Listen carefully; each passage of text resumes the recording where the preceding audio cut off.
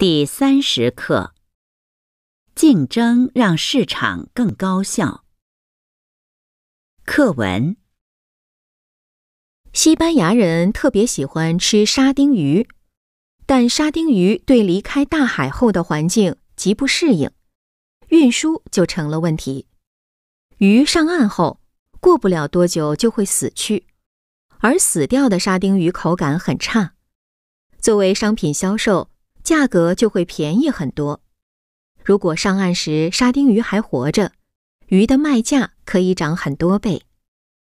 为了延长沙丁鱼的存活期，减少经济损失，渔民们想了很多办法，但情况仍然没有得到太大的改善。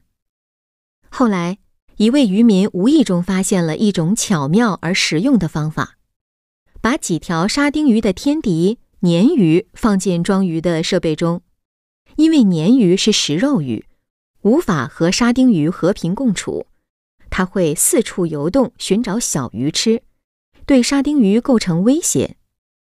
为了逃避天敌，沙丁鱼自然会不断的加速游动，从而保持了旺盛的生命力，存活的比例大大提高。看到这里，你有什么感想和体会呢？其实。这在经济学上被称为“鲶鱼效应”。鲶鱼效应对于市场经济以及现代企业管理都有着重要的启发作用。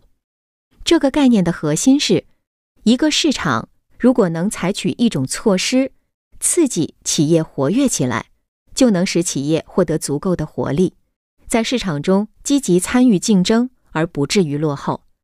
同时，这样反过来。又能促使市场更为高效。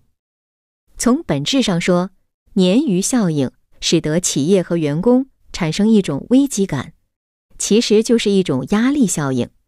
很多研究发现，适度的压力有利于我们保持良好的状态，更加有助于挖掘我们的潜力，从而提高个人的工作效率。比如，运动员每到参加比赛，尤其是决赛时。一定要将自己调整到接近最佳状态，让自己感到适度的压力。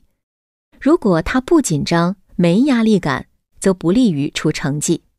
因此，鲶鱼效应的确对挖掘员工潜力、提高企业活力具有积极的意义。